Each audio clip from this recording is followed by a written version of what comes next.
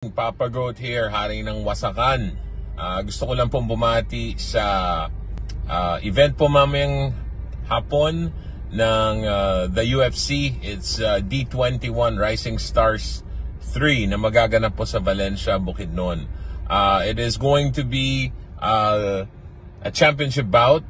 Ang kanila pong main event ay ah, Hong Kong versus Philippines. So uh, I would just like to wish all the best and more power and more success. At sana po ma-execute ng safe yung event po this afternoon.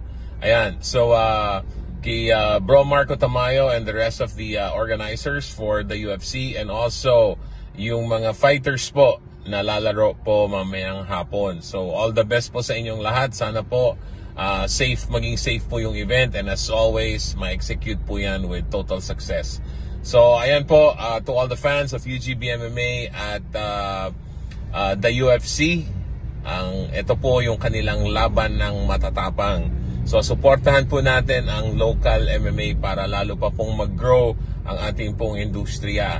So, uh, once again, marami pong salamat. Suportahan po natin.